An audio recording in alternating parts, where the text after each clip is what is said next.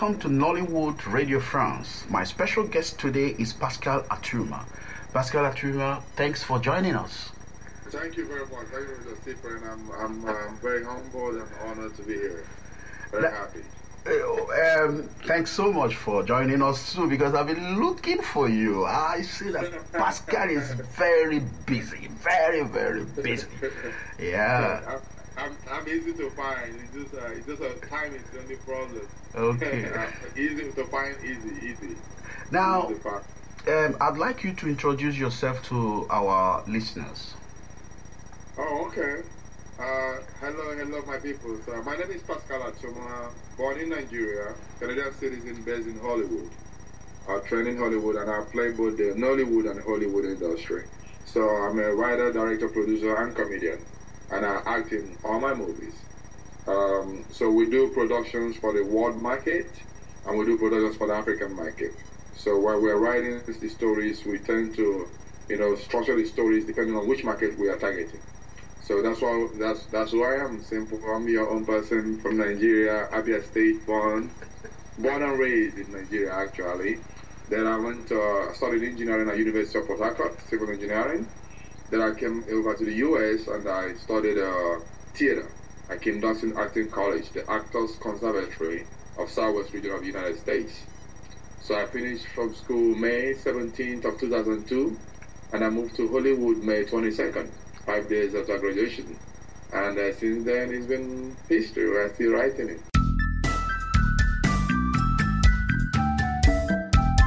Now, describe your early encounter with Nollywood as a young actor and its most problematic aspects today as you see it. Uh, coming into Nollywood, uh, being trained in the US, in Texas, I moved to California where I started my acting career. I was introduced into Nollywood by two people. Um, Stanley Ikogo, who was a producer with uh, um, the Fortune people, the Fortune, uh, you know, the TV show Fortunes that was done by Zeb Ejiro and Co. He was a producer with them. And then his friend Austin Sharp Sharp, Austin Ndukwe in Houston. So Austin introduced me to, uh, Stanley introduced me to Austin. Now Austin now found out that I was playing in Hollywood. And he said, my brother, our own country need people like you. You can do your Hollywood, but the place you can make a very serious impact is in Nollywood. So now they introduced me into Nollywood, and I went on. By then, I already did my first film only in America, which was on the Hollywood market. Then I did another one, Hurricane in Rose Garden. They said, okay, this is all good. It's beautiful to see your films in Blockbuster, Walmart, but we need one that our people can buy from the African market. That's when I went and I did my American Nurse one. Mm. So when I did American Nurse one, so that's how we got into Nollywood. And then when we got into Nollywood newly, it was still a, it's still a growing industry to today, but things have changed a lot.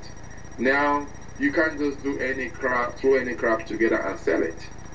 Now that we Nollywood have professionals now, we have trained professionals, we have trained directors, trained producers, trained writers, trained sound people, gaffers, makeup artists. People are now specializing unlike before where one person can do it all. You know, so you see most of our directors coming out to get training from uh, LA Film School, the New York Film Academy, you know, people trying to get acting classes are already established professionals. So Nollywood is evolving, it's evolving and it's growing, and I, I'm very impressed and I thank God that I'm a part of Nollywood. Now, let's talk about your movies and uh, which of them would you say made more impact in terms of uh, viewers in the United States, Europe, and uh, African countries, precisely Nigeria? My American Nurse. Uh, Yeah. why? Why? Why? Why do you say Yeah. that? Yeah.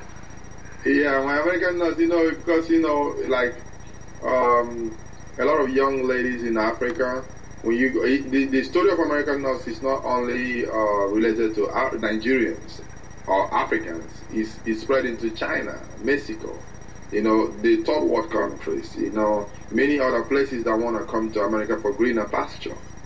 So you notice whereby a young lady of what, 18 years or 20 will get married to a man of 45 or 50 who lives in America and will leave the boyfriend in Nigeria who's 22 or 23 that is actually doing good because she wants to come to America. and not knowing that she, her motive is to come to America. The man's motive is to marry a young, beautiful woman. Bring the woman to America. Let her become a nurse or a medical doctor or one of the medical professions that is guaranteed to make money in the U.S. And make money for him so he can relax and do whatever he wants to do. And he can go home and get a cheap chieftaincy title, build houses, whereas the woman is working hard here. So the story, by God's grace, when I told it, it hit home. It is actually told the story of the life of a lot of people, so people can watch it and actually see themselves part of their lives in the movie. So actually, so far by God's grace, it's been the highest selling movie, African movie in the United States. The only movie that they've been comparing it to is uh, Osuofia in London. Okay, that's, that's... Yeah, Osuofia in London is the only movie that could be compared to the way American Nurse did. And since then, I've been trying to beat American Nurse, but it's been, uh, we're working, it's not been easy. But I'm sure our movie, either Okoto or Who's the Man will be it.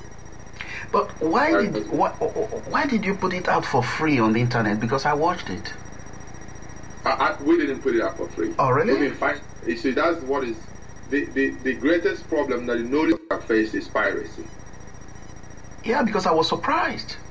Yeah, it's piracy. You know, the the the only sites that you can watch it on the internet are the sites that are not an organized site, like not an industry or a company that you can go after. Okay. Right? I give you an example. When they had it on YouTube, YouTube is a professional site. We went after YouTube and we took it out. Okay. Right? When they had it on a couple of other websites, we, our attorney went after them and they took it out. But there's some websites, Pop and Mom, you know, mushroom cockroach websites, that you don't know where these people are. you know? So where are you going to find them? Some of them are somewhere in Nigeria in one village, some are somewhere in a village in Ghana. You know, they just find a way to get a movie on, on internet, they get it on the internet. Some of them are not even doing, doing it to harm you. They're not even making money. They just love a movie and putting it out there. Now, those sites, you don't know how to control those sites. You see what I'm saying? You don't know how to even reach the owners of those sites. That's the only site that you can find a movie, not my movie. But any site like Iroko TV or YouTube or any site that is established, an established company, you cannot find our movies. Yeah. But we'll, we will go after them and remove it.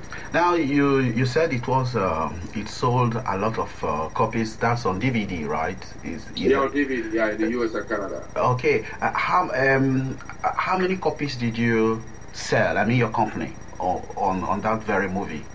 Yeah, it was released by Sanga Entertainment. Okay. Uh, we sold more than six to seven hundred thousand copies mm. under two years. Yeah, wow. and it's still selling.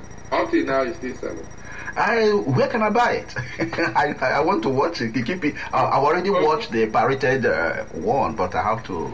yeah, you can get it on. You can get it online. Online, okay. If you guys don't have it in France, yeah, you can get it on. There's a lot of companies online that offer okay, it. They will ship okay. it to you. Okay. Yeah, but uh, another thing too is uh, since I'm talking to you, I can I can ship it to you for your Christmas. okay. Oh, that's for, for the Christmas. Yeah. yeah. Okay. I can ship you. I can ship you American Nurse for an American Nurse too. Okay. Okay. Yeah. Okay. That's yeah. What what I have time, I'll, I'll I'll ship you. Send me address. I'll ship it to you just for you. Thanks. As as, as the boss. Oh my God! I'm flattered.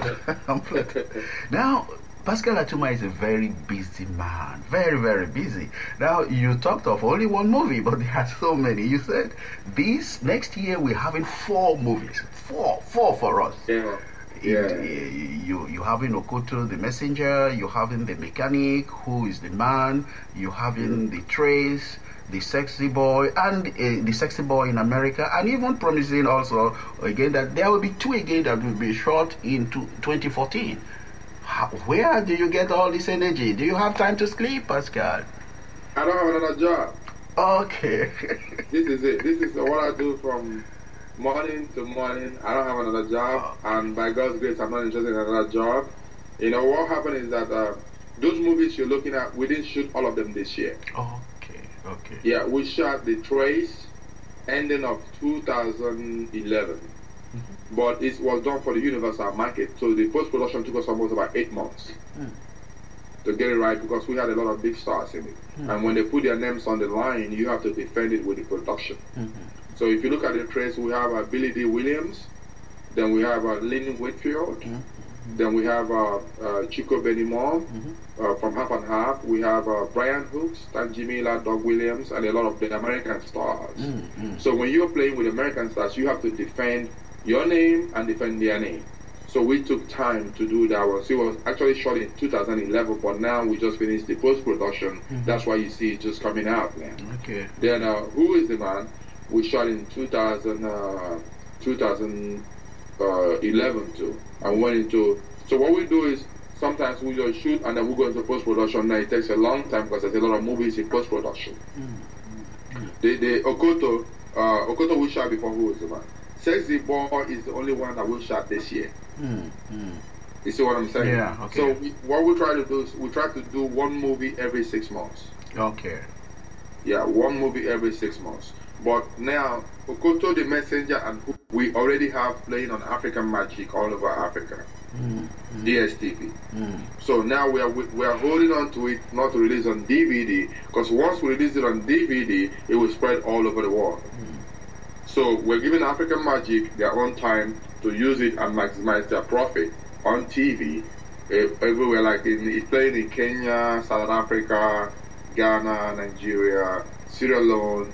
Everywhere they have English, and some of them they are subtitling into their own languages, right? Okay. So that's why. So now about next year, by then they would have done it. All they want to do with TV, both OHTV London too. We have it in London too, playing OHTV and Hollywood movies. Mm-hmm. So now we cannot go on DVD.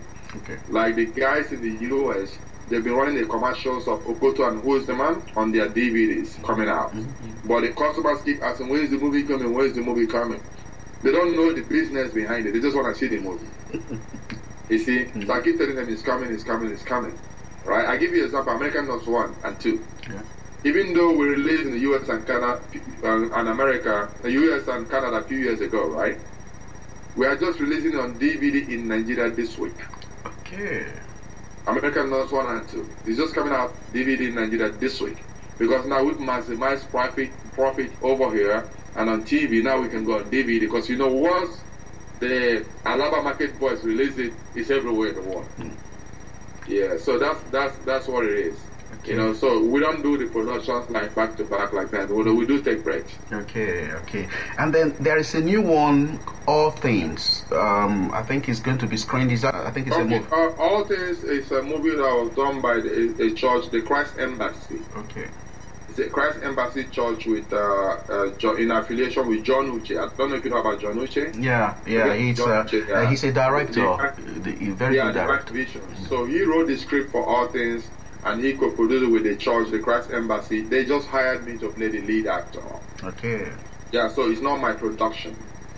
You know, so we shot it in Washington D.C. this year, and they are doing their first premiere in uh, Phoenix, Arizona, come Saturday, this coming Saturday, 24th in Phoenix.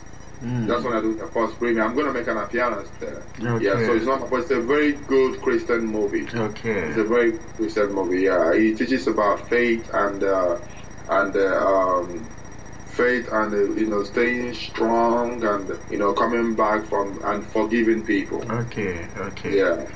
Now,